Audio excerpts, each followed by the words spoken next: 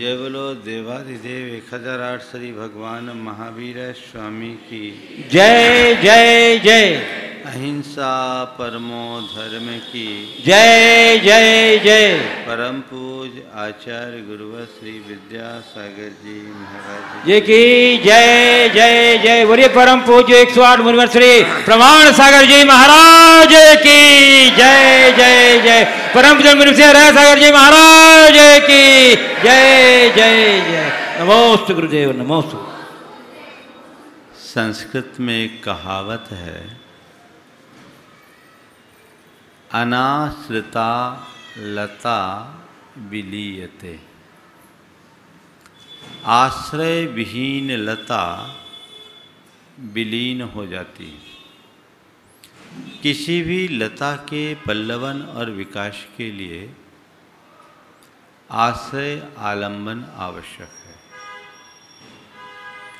किसी स्तंभ का आश्रय पाकर नन्ही सी लता आसमान की ऊंचाई छूने में समर्थ हो जाती वहीं आश्रय आलंबन के अभाव में, मिट्टी पानी में सड़ गल कर नष्ट भ्रष्ट हो जाती संत कहते हैं, जीवन लता के पल्लवन और विकास के लिए भी आश्रय आलंबन ज़रूरी है।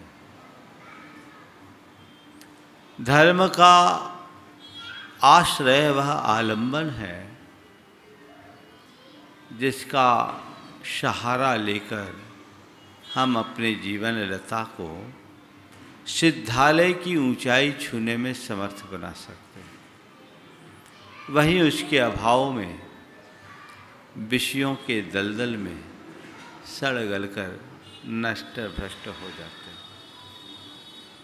संत कहते हैं, जीवन लता को ऊँचा उठाना चाहते हो तो धर्म के स्तंभ का आश्रय लो। लता स्वाभाविक रूप से ऊपर होगी और जीवन ऊर्धमुखी बनेगा। सच्चे देव शास्त्र गुरु धर्म के वे आधार स्तंभ हैं जो हमारे धार्मिक भावनाओं को उद्दीप्त करते हुए हमें नई प्रेरणा और मार्ग दिखाते हैं, जीवन का सच्चा पाठ पढ़ाते हैं। देवशास्त्र गुरु के सानिध्य का, उनके सत्संग और समागम का यही एक लाभ है। और ये भक्ति भाव जिसके हृदय में बना है, उसके जीवन की समुन्नति को कोई रोक नहीं सकता। इस अर्थ में गया के लोग बड़े भाग्यशाली हैं। आप लोगों के हृदय में देव शास्त्र गुरु के प्रति श्रद्धा और भक्ति कूट कूट करके भरी हुई है। ये भावना उत्तरोत्तर और वृद्धिगत हो, हमारा मनोभाव वैसा होना चाहिए। गया में पहली बार आना नहीं हुआ। ये पांचवी बार आया हूँ। है ना? आ, तीन नहीं गिना दो। हाँ पांचवी बार आप लोगों को याद नहीं रहता। सबसे पहली बार सम्मेद शिखर की वंदना के लिए आया था 2005 के जनवरी में। दूसरी बार 2007 में महावीर जयंती में आया। तीसरी बार चौमासे में आया 2008 में। और चौथी बार पटना से आया 2012 में। आप लोगों को याद नहीं है तो हम क्या करें? ऐसे ही तो भूल जाते हैं। कुछ लोग तो महाराज को भी भूल गए हों। है ना? ये पांचवा मौका है। और भावनाओं से आप लोगों से क्या बच्चे बच्चे से मैं परिचित हूँ। बस। अभी इधर आने का क्रम चल रहा था। कई लोगों ने कई तरह की बातें चर्चा में की। किसी की छोटी दुकान बड़ी बन गई, किसी की दुकान से शोरूम हो गया, किसी का अपना मकान बन गया। भैया, ये सब तो बदल गया।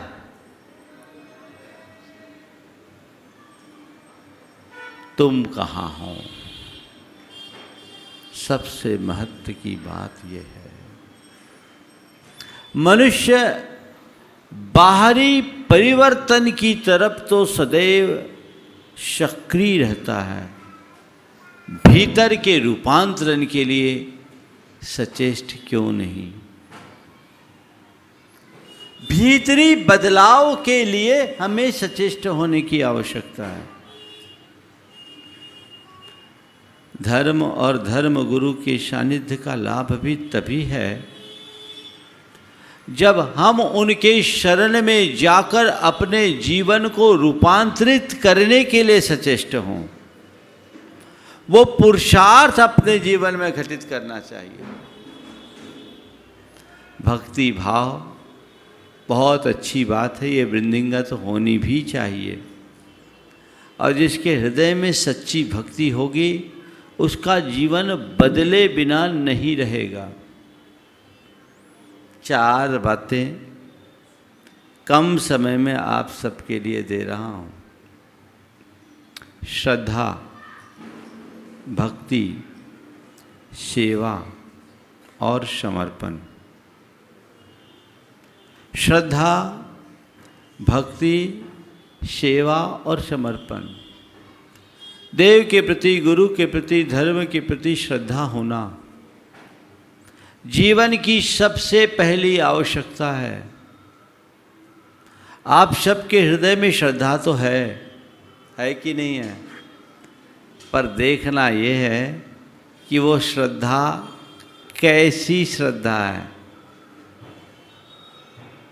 श्रद्धा है, कैसी श्रद्धा है?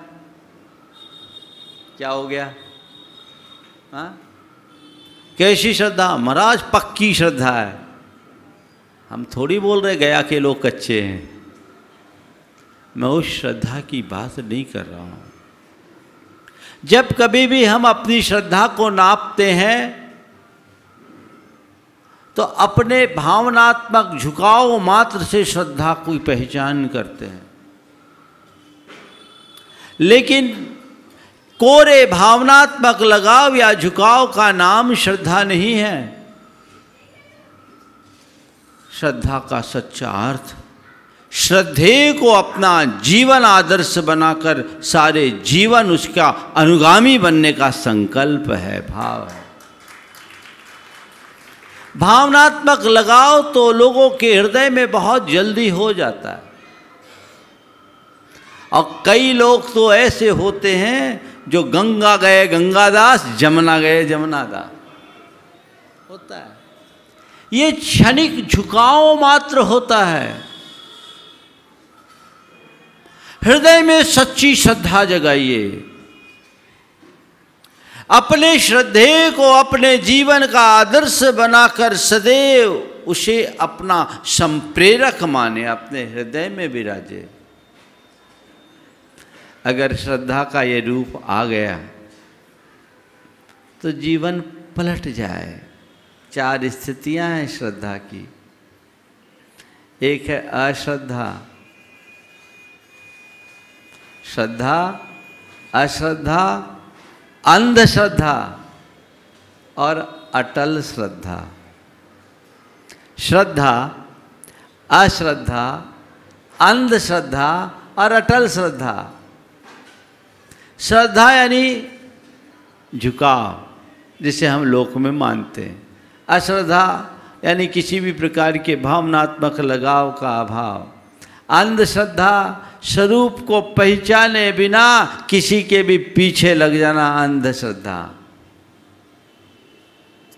ये कभी कभी हमारे लिए बहुत भयावह हो जाता है। इन तीनों स्थितियों से उपरत होकर अटल श्रद्धा हृदय में होनी चाहिए। और एक बार हृदय में अटल श्रद्धा प्रकट हो जाए तो जीवन की गति कभी अवरुद्ध नहीं हो सकती।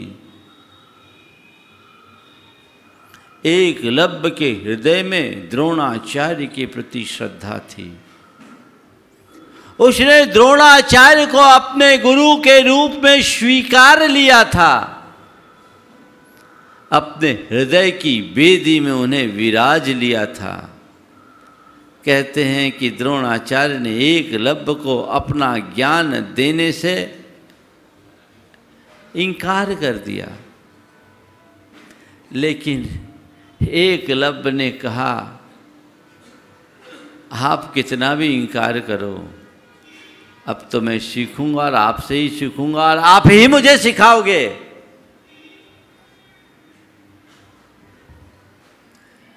आप सबको कहानी पता है। एक लब ने आकर क्या किया? द्रोणाचार्य की मिट्टी की मूर्ति बनाई। एक बेदी बनाकर उस पर उन्हें विराज दिया।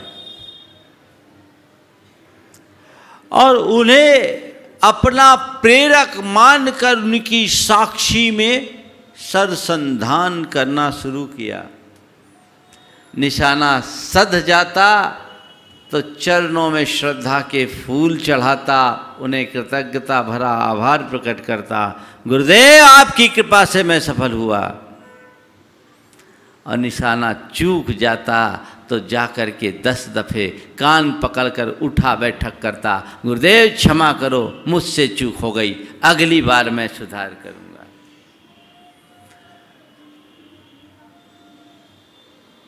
जब द्रोणाचार्य कौरवों और पांडवों को सरसंधान सिखाने के क्रम में वन में थे, आगे आगे शिकारी कुत्ते गए। एक लब ने बाँध चलाया, कुत्तों का मुँह सिल गया। सिले हुए मुँह के साथ जब कुत्ते लौटे तो सबको आश्चर्य हुआ, किस धरती पर शब्द भेदी बाँध चलाने वाला दूसरा कौन है? यहाँ तो केवल अर्जुन ही है, और अर्जुन सबसे ज़्यादा बौखला है पता लगा कौन है? पता लगाया गया, देखा गया तो ये तो एकलव्य है, एक जंगली भील है। अरे तुमने ये सरसंधान किससे सीखा? जैसे द्रोणाचार्य पर दृष्टि पड़ी गिर पड़ा चरणों में गुरुदेव आ ही गए आप। मुझे पूरा विश्वास था। एक ने एक दिन तो आप आओगे। बोले ठीक है सब बातें बात की पर ये बताओ तुम्हें धनुष चलाना सिखाया किसने? गुरुदेव आपने ही तो सिखाया। मैंने? मैंने तो तुम्हें लौटा दिया था। गुरुदेव आपने भले लौटाया हो पर मैं लौटा कहाँ था? मैं तो आपके साथ था। चलो आपको बता दूँ, आप कहाँ बैठकर मुझे सिखाए? और जब द्रोणाचार्य ने अपनी ही प्रतिकृति को देखा तो वे खुद भौचक्क रह गए। ये है अटल श्रद्धा का परिणाम, जो अर्जुन जैसे धनुर्धर द्रोणाचार्य की साक्षात उपस्थिति में नहीं सीख पाए। वो एक लब ने अपनी अटल श्रद्धा के बल पर द्रोणाचार्य की मूर्ति से सीख लिया। तो मैं आप सबसे कहता हूँ, हृदय में अटल श्रद्धा अंकित करके रखिए। एक लब बनिए। वहाँ फिर कोई वितर्क नहीं होता। श्रद्धा से पूर्व परीक्षा और श्रद्धा के बाद केवल अनुकरण। ऐसी श्रद्धा होनी चाहिए। एक अंधा आदमी भगवान के दर्शन के लिए जा रहा था मंदिर की ओर। ने पूछा, कहाँ जा रहा? बोला, मंदिर जा रहा बोले, क्यों जा रहे हो? बोले, भगवान के दर्शन के लिए जा रहा हूँ। बोले, भगवान के दर्शन को जा रहे हो? तुम अंधे हो, तुम्हें भगवान दिखेंगे क्या? बोले, भैया, मैं अंधा हूँ, भगवान तो आँख वाला है वही मुझे देख लेगा, मेरा जीवन निहाल हो जाएगा। मैं अंधा हूँ तो क्या हुआ? भगवान तो आँख वाला है उसकी दृष्टि मुझ पर पड़ गई। मैं निहाल होऊँगा। अटल श्रद्धा। श्रद्धे को अपने जीवन का आदर्श बनाकर हृदय में स्थापित कीजिए और उसे ही अपनी समस्त वृत्तियों और प्रवृत्तियों का संप्रेरक बनाइए। अपने मन से पूछो तुम्हारी श्रद्धा की हालत क्या है। सुबह मंदिर में भाव भक्ति से भगवान की पूजा करते, अर्घ चढ़ाते हो, धर्म मूर्ति बन जाते हो। और कई कई लोग तो मंदिरे में चप्पल चोरी करके चले जाते होता है? कहाँ की श्रद्धा? एक बार की बात, एक व्यक्ति मंदिर में भगवान के दर्शन करते समय जाप कर रहा था, आँखें बंद करके। अपना मोबाइल, एप्पल का मोबाइल था, टेबल पर रख दिया और जाप कर रहा था। देखिए, क्या श्रद्धा की बात है। एक परिवार दर्शन के लिए आया, उसमें तीन लड़कियाँ थी। ये माला फेर रहा, आँखें बंद है, मोबाइल उठा के चलते बंद भगवान की बेदी के सामने से मोबाइल उठा के और ये मैं समेत शिखर की बात कर रहा हूँ। बाद में सीसीटीवी कैमरे से देखा गया तो भेद खुला। कितना दुर्बल है मन। तुम जिसकी पूजा करते हो, उसके आदर्शों को अपने हृदय में कितना स्थान देते हो, सबसे बड़ी सोचने की बात यह है। ज़्यादातर लोग एक प्रकार की आत्ममुग्धता में जीते हैं। इस सोच में जूते हैं और अपने आप को कृतार्थ महसूस करते हैं कि मैंने घंटे भर की पूजा कर ली, मेरा जीवन तर गया। क्योंकि मैंने एक घंटे तक पुण्य कमा लिया। संत कहते हैं, पुण्य कमाने से जीवन नहीं तरेगा। ध्यान से सुनना। पुण्य कमाने से जीवन नहीं तरेगा। जीवन तो जीवन को पुण्य बनाने से तरेगा पुण्य बनाने के लिए सोचो, पुण्य कमाने की तो तुम नित्य सोचते सोचते हो। जीवन पुण्य कब बनेगा? जब तुम्हारी श्रद्धा अटल होगी और उस श्रद्धा के बलबूते तुम गलत करने से बचोगे। देखिए, अटल श्रद्धा मनुष्य के जीवन में कैसा बदलाव लाती? एक व्यक्ति, जिसके सुबह की शुरुआत शराब के कुल्ले से होती थी। लोगों ने उसे बहुत बदलने की कोशिश की, पर बदला नहीं। एक रोज मेरा केशलोच हो रहा था। जब लोगों की होनहार अच्छी होती है तो अपने आप निमित्त बन जाता है। वो मेरा केसलोच हो रहा था केसलोच देखने के लिए आ गया। उन दिनों की बात है, जब मेरे बाल बहुत घने थे और लगभग तीन घंटे के करीब केसलोच में लगते थे। मैं केसलोच कर रहा था, वो लगभग दो घंटे तक मेरी केसलोच को अपलग देखता रहा, रोता रहा। रोता रहा। लोच पूरा होने के बाद चरणों में गिरा और सिर रखा, कहा, गुरुदेव, मेरा उद्धार करो। आज से मैं अपनी सारी बुराइयों को छोड़ता हूँ। आप मेरे हृदय में बैठ गए मैंने कहा, भैया, पक्के रहना, क्योंकि बहुत सारे शराबियों का पुराना रिकॉर्ड है, छोड़ देते हैं इधर छोड़ते, इधर शुरू कर देते हैं। भरोसा नहीं रहता। उस व्यक्ति ने शराब छोड़ा। उसके बाद, करीब एक महीने बाद मैंने ऐसे ही पूछा, भैया, ये बताओ, तुम्हारा नियम पल रहा है? बोला, पल रहा, अच्छे से पल रहा महाराज, अब चिंता की बात नहीं। हमने कहा, कभी लेने की इच्छा तो नहीं आई? बोली, इच्छा तो ही पर आपने नहीं लेने दिया। आपने रोक दिया? मैंने कहा, मैंने रोक दिया? तुम तो मुझसे मिले ही एक महीने बाद हो। बोले, महाराज जी, जब भी मेरे मन में लेने की इच्छा होती है, आपकी तस्वीर मेरे आँखों के सामने आ जाती है और जब आपको देखता हूँ तो इच्छा ही नहीं होती। और उस व्यक्ति के जीवन में इतना बड़ा बदलाव हुआ कि आज वो सात प्रतिमा का पालन कर रहा है, बीस साल का परिवार अटल श्रद्धा इसको बोलते हैं। आप दिख जाते हो। और कई लोग तो ऐसे हैं कि महाराज भी दिख जाए तो थोड़ा सा मुँह छिपा के काम कर ले। हमें अपने आप को भीतर से मज़बूत बनाने की ज़रूरत है। जब तक अंतर मन मज़बूत नहीं होगा, जीवन का उद्धार नहीं होगा। ऐसी श्रद्धा से उत्प्रेरित होकर आगे बढ़ो।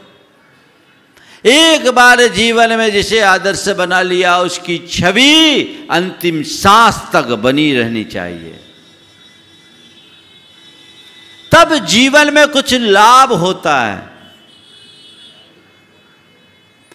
और नहीं तो पल पल में रंग बदलने वालों के जीवन का ढंग नहीं बदलता। तो गुरु श्रद्धा।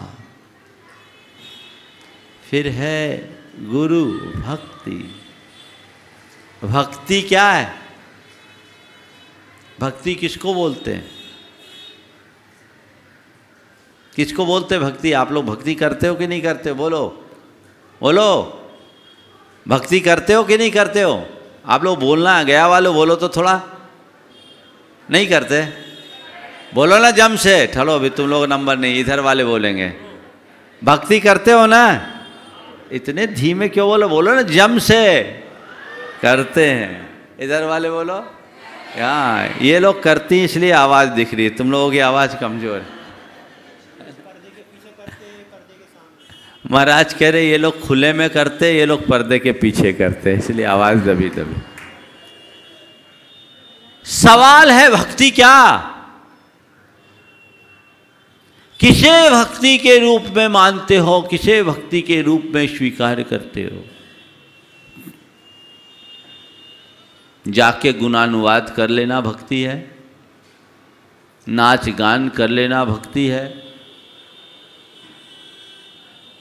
पूजा के चार शब्द पढ़ लेना भक्ति है। क्या है भक्ति? भक्ति का मतलब है भाव विशुद्धि युक्त अनुराग। तुम प्रत्यक्ष रहो, न रहो, तुम्हारा अनुराग बना रहना चाहिए।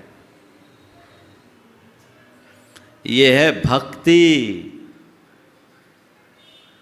जिसके प्रति भक्ति होगी, अनुराग उत्तरोत्तर प्रगाढ़ होगा। घटेगा नहीं, बढ़ेगा। कौन सा अनुराग? भाव विशुद्धि युक्त अनुराग। राग तो तुम्हारा चाहे जिससे बढ़ जाता है। कई लोगों को साधुओं से भी राग हो जाता है। नहीं। राग मत रखो, अनुराग रखो। और कैसा अनुराग? भाव विशुद्धि युक्त अनुराग। जिसमें अपना व्यक्तिगत कोई स्वार्थ ना हो, केवल अपने जीवन को निर्मल और पवित्र बनाने की भावना हो, सामने वाले से सही प्रेरणा पाने का एक मनोभाव हो। ये भक्ति हमारे जीवन की एक बड़ी संपत्ति है।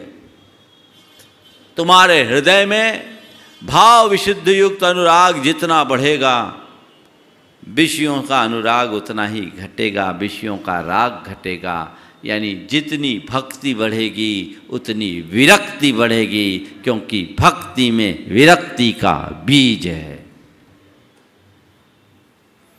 भक्ति तो है, अरे हम तो महाराज के परम भक्त हैं। अच्छी बात है भैया, भक्त हो, थोड़ा देख तो लो, भक्त हो कि विभक्त? है ना? भक्त हो कि विभक्त, ये भी देखो। अगर तुम्हारे अंदर सच्ची भक्ति है तो उत्तरोत्तर जीवन के विकास के क्रम में आगे बढ़ना चाहिए। कई लोग 25 बरस से पहली क्लास में हैं। बोलो। है ना? इधर तो अनलॉक हो गया, उनका अभी भी लॉकडाउन ही है। जहाँ थे वहीं, जस के तस। जीवन आगे कैसे बढ़ेगा? अगर हृदय में भक्ति बढ़ेगी तो धीरे धीरे विरक्ति के संस्कार भी बढ़ेंगे, बढ़ना चाहिए। आज गुरु भक्तों की कमी नहीं है, पर भक्ति की कमी दिखती है। इसका ही एक कुपरिणाम है कि जैनियों के समारोहों में भी दिन में खाने वालों का टोटा दिखता है और रात में खाने वालों की लाइन लगती है। उनमें तथाकथित गुरु भक्त भी होते हैं। होते हैं कि नहीं होते बोलो? तो गुरु भक्त बढ़ रहे हैं, भक्ति घट रही है। मैं गुरु भक्त कहलाऊं, न कहलाऊं, उसकी परवाह मत करना। प्रभु से एक ही कामना करना। हे प्रभु, मेरी गुरु भक्ति मेरी आखिरी सांस तक बनी रहे और कुछ न रहे। वही तुम्हें बचाएगी, उससे ही तुम्हारा मार्ग प्रशस्त होगा। और कोई दूसरा रास्ता नहीं है। तो गुरु श्रद्धा गुरु भक्ति, फिर है गुरु सेवा। सेवा? महाराज, आप तो सेवा का मौका ही नहीं देते, आजकल आप भैया वृत्ति कराते ही नहीं हो। अरे भैया, हाथ पाँव दबाना ही सेवा नहीं है। ये तो ऊपरी सेवा है। असली सेवा क्या है? अपने आचरण और व्यवहार से गुरु के गौरव को बढ़ाना ही उनकी सच्ची सेवा है। अपने आचरण और व्यवहार को ऐसा रखो कि उससे उनका गौरव बढ़े। अरे, ये तो अमुक का भगत है, अमुक का शिष्य है। तुम्हें देखकर लोग तुम्हारे गुरु के प्रति श्रद्धा विभूत हो जाए, यही तुम्हारी सच्ची सेवा है। ऐसी सेवा जब तक नहीं होगी, तब तक जीवन का पथ प्रशस्त नहीं होगा। ऊपरी सेवा के लिए तुम्हारे हृदय में जितनी तत्परता होती है, आंतरिक सेवा का भाव प्रकट हो जाए, बेड़ा पार होगा। वो भावना, जगना चाहिए। और चौथे क्रम में है गुरु। समर्पण। समर्पण पराकाष्ठा है। कोई साधारण बात नहीं है। समर्पित हो जाने का मतलब शरणागत हो जाना। अपनी इच्छा शक्ति को अर्पित कर देना। अपनी निर्णय शक्ति को अर्पित कर देना। अपनी समझ शक्ति को अर्पित कर देने का नाम समर्पण है। ठीक वैसे ही, जैसे बिल्ली अपने बच्चे को मुँह से उठाती है, जहाँ रखती है वो रह जाता है, जहाँ उठाती है उठ के चला जाता है। उसकी अपनी कोई निजी इच्छा नहीं। ये शरणागति है। समर्पण इसे कहते हैं। वो समर्पण का भाव। आजकल लोग कहने को तो समर्पित कहलाते हैं, पर गुरुओं को चलाने की कोशिश करने लगते हैं। चलने की बात तो दूर है। ये हमारे मार्ग की बाधाएँ हैं। आज के इस प्रसंग में गया के लोगों की गुरु भक्ति मैं देख रहा हूँ। उस गुरु भक्ति को उत्तरोत्तर बढ़ाए। 2008 के चातुर्मास की फ़सल के रूप में एक तैयार हुए विमल जी हमारे साथ हैं। और इनसे गया को एक नई पहचान मिली। बहुत सारे लोग आज व्रती हैं, इनमें देवेंद्र भाई जी भी हैं, और भी यहाँ बहुत लोग व्रती बने हैं, है ना? गुलाब चंद जी हैं, देवेंद्र, एफो आई, देवेंद्र, वो और मुझे नहीं मालूम, कई महिलाओं में भी लोगों ने व्रती धारण किए। तो लोगों ने ग्रहण किया। हमारी कोशिश होनी चाहिए अपने जीवन को आगे बढ़ाने की। इस बार सम्मेद शिखर की यात्रा थी, यात्रा लंबी। आग्रह तो आप लोगों का भी था, पर मौसम, लंबी यात्रा यात्रा जन श्रम और थकान को देखते हुए मन कम था। लेकिन सच पूछो तो यहाँ आने के पीछे पूरा श्रेय हमारे विमल जी को जाता है। जब यहाँ आए थे तो हमारे साथ बाबा जी थे, शांतिलाल जी। वो तो चले गए, अब दूसरे बाबा जी प्रकट हो गए। लगातार इस उम्र में भी अपनी साधना और तत्परता आप सबको पता है कि सलोच भी ये करते हैं। एक भुक्ति इनकी होती है और रस परित्याग के साथ भोजन करते हैं। बस ऊपर से कपड़ा है, अंदर से तो ये मुनि ही है। ये अच्छा विषय है, गौरव का विषय है। और आप लोग भी ऐसी ही भावना बनाकर अपने जीवन को आगे बढ़ाने का प्रयास करें। बोलिए परम पूज आचार्य गुरुवार श्री विद्यासागर जी महाराज।